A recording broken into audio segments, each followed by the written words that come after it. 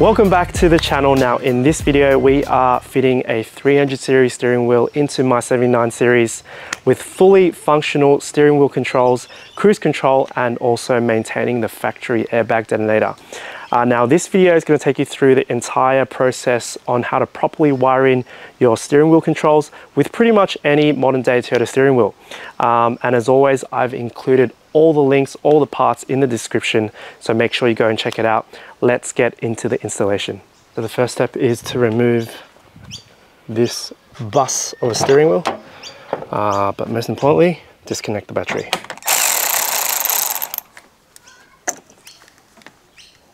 Next is to remove the horn pad and it's held in by two screws, one on each side of the steering wheel. And to get to those two screws, we have to remove a cover on each side. Just with a plastic trim removal tool, we can gently pry the trim off.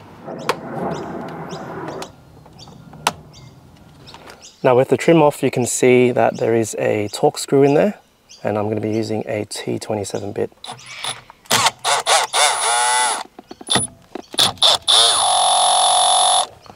Take the horn pad off and next we are going to disconnect two connectors so that orange connector is for the airbag detonator and also that brown wire into a spade terminal we're going to disconnect that that is for the horn.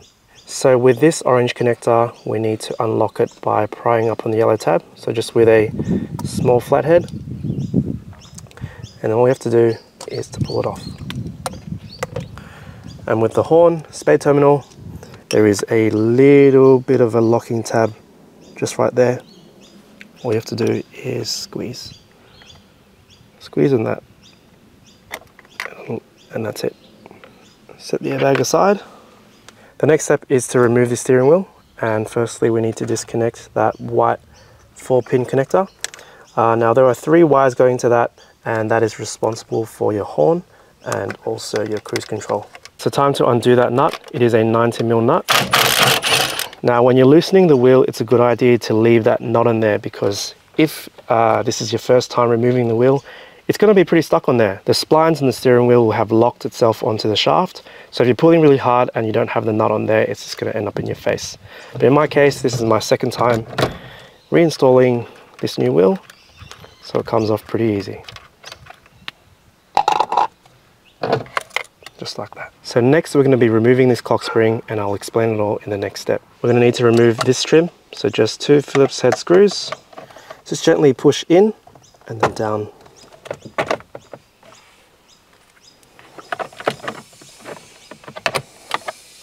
So we're going to disconnect everything off the clock spring. So we've got the black connector, the yellow and also that white one in there. With this yellow connector, you pry the tab in towards you and the white connector is just a normal one with the tab. Okay, so clock spring's ready to come out and it is held in by three tabs. One on the left side here, one on the right side here, and one on the top underneath this top trim. So just push the trim up, but there is a tab there to lift up. Quick, and on the side here, and on the other side. That's the clock spring. So we're going to be upgrading the clock spring. Now there's a certain business telling people that this is an illegal upgrade, but that same business is also the one with a 79 series with 40 inch tires. So I'll let you think about that one. This is the factory 79 series clock spring. Uh, and this is the N70 clock spring. Uh, this one's from a 2012 uh, to 15 model with the VSC. So this one was just off eBay for 19.99. Super cheap, but I've actually had this in the car for uh, almost two months uh, without any issue at all. At the end of the day, it's just a clock spring. It's a piece of plastic with a bunch of wires inside. But the reason why we're upgrading to this is because it has a connector housing there, a 10 pin connector housing, and that's the only way we can properly wire in our steering wheel controls. Now the dimensions are absolutely identical. The tab mounting locations are the same it bolts right in and the only difference is that this one has additional wires uh, for steering wheel controls in the Toyota Hilux. Uh, all we have to do is to change over this little sensor box here and that just comes off and bolts straight into the new clock spring. Alright, so we're going to be removing this entire piece Uh, now there are a bunch of tabs holding it around. I'm just going to go around and pry them off. Just gently, you don't want to break it. As you're prying the tab open, just gently pull it up from the sides. There we go. And that's a new piece which is going onto our aftermarket clock spring. Slot it straight over, push down, and that's your clock spring ready to go. So just pop that in. All we have to do is push down, and that's it. That's the upgrade. So of those three connectors we took off the old clock spring, we're going to be reconnecting at the moment just two of those connectors. All right, so this is where it gets a little bit intimidating for some. Uh, now, the way we wire in our steering wheel controls, from the steering wheel, there is a harness which plugs into that connector, uh, that 10 pin connector we spoke about earlier. Through that connector, there are a bunch of wires inside the clock spring and it terminates out the side to that 12 pin connector. Now on the factory harness, there is this 12 pin connector already and I actually did find that you could buy those pins separately from Toyota. Uh, I will put the part number in the video, but those pins are in Japan at the moment and they cost $32 per pin. So that's going to be really expensive for just a bunch of uh, little metal contacts. So I had to think about it and this connector looked suspiciously familiar and it reminded me of the Haltech wiring I did in my RX-7. So I jumped onto the Haltech website and I found that this connector was pretty much the identical one. So this is what you get from Haltech. You get this connector and also 12 pins, which I've already used. Side by side, they are pretty much identical and it plugs right into our clock spring. Anyways, it's starting to get dark, so let's go inside and do the wiring. So hopefully you guys are following on so far, but I am sorry if it's a bit confusing. It should start to make a bit more sense once you see the parts going back on the car, uh, but until someone makes a plug and play harness, it's gonna be a bit fiddly. Um, so I'm gonna show you guys what you get out of the box. So in the box, uh, this is what you get. You get the steering wheel, which comes with a horn pad and also that rear trim panel. Um, and yeah, this is the piano black model, uh, the GR Sport piano black model. I know you can also get them in the fake carbon fiber, um, and also the wood grain, but I thought this finish would match my interior a bit better. I'm going for that black and grey theme. Um, so with that wheel, it also comes with the harness. Now this harness goes between the steering wheel controls uh, to that upgraded clock spring that we installed. Um, and when I bought this wheel, when I was about to buy this wheel, I really wasn't sure whether or not I would be able to get the steering wheel controls to, to work. This was uh, this kit was designed for the LC200. Uh, so I reached out to the seller and I said, look, can you please send me an additional harness? So yes, he did send that extra harness um, and he also sent me uh, at my request. This one is a 2016 to 21 cruiser harness with steering wheel controls. Um, and all I wanted really was this connector. So they both work.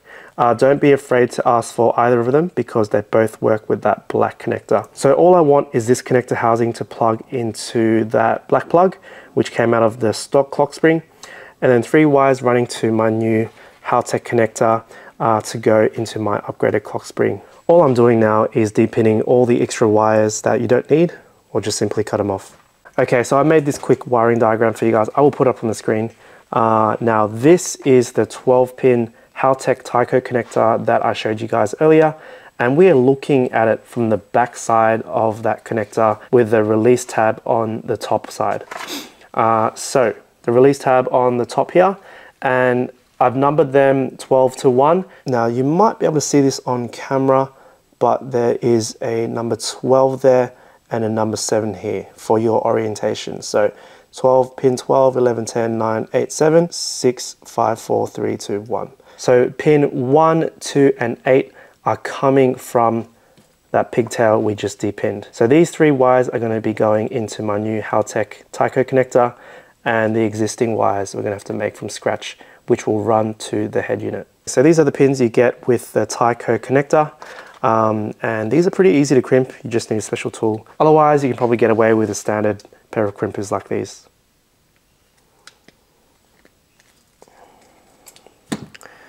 That's it. With the right tools, it's literally that easy. So we need to insert these three pins onto this side of our Tyco connector. Now to do that, we need to unlock the connector first. You'll see two black tabs on the side of them. You're gonna pry them up this way and you'll see this tab come up. So just on both sides,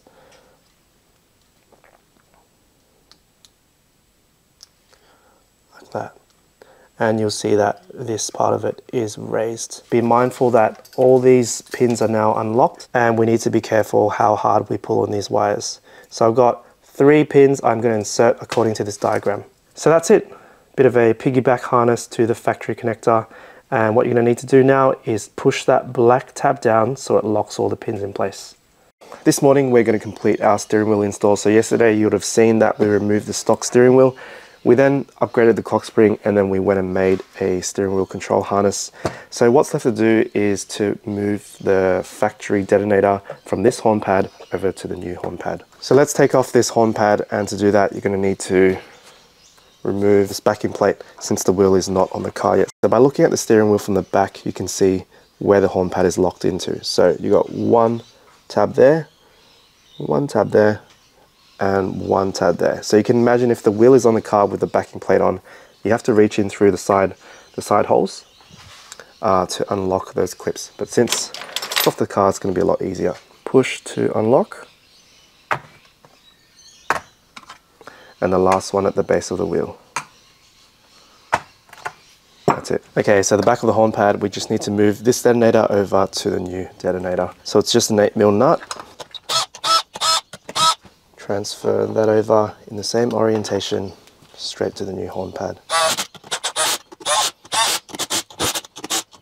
Okay, so just back into the car with our steering wheel control harness and I've added these four extra spade terminals just to make it a bit easier to plug in behind the, the head unit. I'm going to grab that connector from my harness.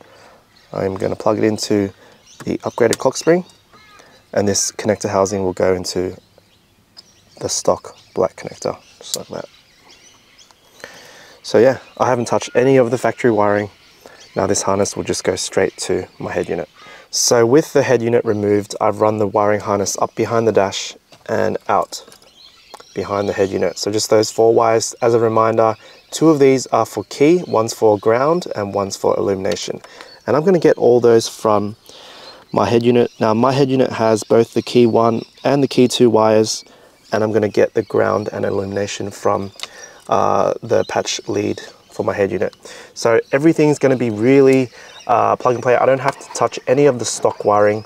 Now, if you don't have an Android unit, you might have something like a Sony, a Pioneer, Alpine, all those name brands. Um, you will need something additional to the steering wheel control harness. So the harness I made, it's going to be the exact same. You still have those three key wires and the illumination, um, but you'll need to run it through something like this. Now this, uh, I will put all these part numbers in the description, uh, but it's not as complicated as you're thinking. You don't actually need to use the whole harness. You just need to run the three wires, the key one, key two, key ground, through this decoder, um, and the illumination just goes wherever you can find 12 volt illumination. I will include a bit more information in the description.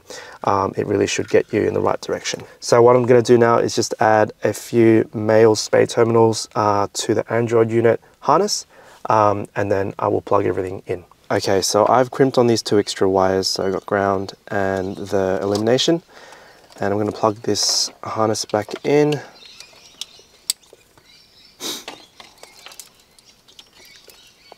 Key one and key two. Cool. So they're my four inputs and the radio can go back in. All right, so I've refitted the head unit and I've also refitted the lower column trim. And now it's time to fit our new steering wheel. All right, so just pulling the clock spring pin and our steering wheel go straight on, just making sure it's nice and center.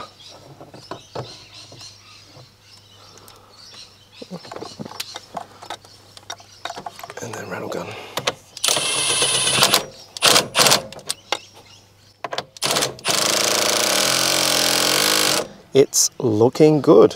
The final part of the install now, we're just gonna start plugging everything back in. So the harness, which is supplied with the kit, uh, it's a 10 pin connector just to push it in there, click, and then plug in the steering wheel controls.